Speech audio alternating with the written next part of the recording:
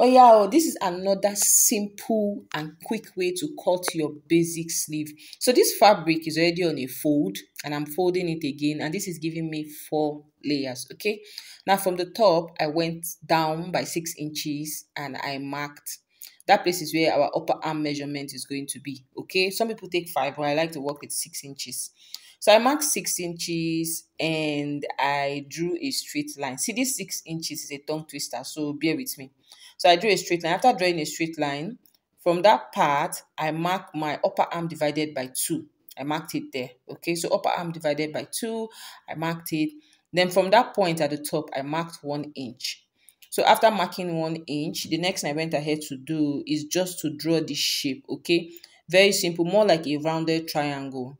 From that 1 inch point, I connected it to my upper arm measurement then at the bottom, I took circumference of whatever my sleeve is at that part and I marked it there. Okay. So after doing this, the next thing I went ahead to do was to draw a, a, a straight line, more like slanted line, depending on how your shape is.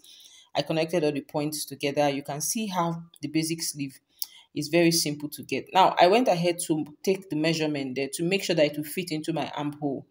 After doing this, the next thing I went ahead to do was to mark one inch seam allowance. Okay, so I marked one inch on both sides, or the top and at the bottom for my seam allowance. I connected my markings together. After doing this, I just extended the curve, okay, the sleeve curve, I extended it. And after doing this, next thing I went ahead to do was to cut. You can see how very simple and very easy it is to cut a basic sleeve. You can see very simple, very straightforward. Okay, so after doing this, this is what the basic sleeve looks like. i was showing you different angles. This is what the basic sleeve looks like. Um, I used to struggle with a basic sleeve very well before, guys, but right now I no longer struggle. So by the time I raised it up, you can see a very perfect basic sleeve okay? Now the next thing i went ahead to do was to mark out that you know that one inch um, seam allowance. I marked it out. I joined my sleeve. After joining my sleeve the next thing i went ahead to do i joined both sleeve.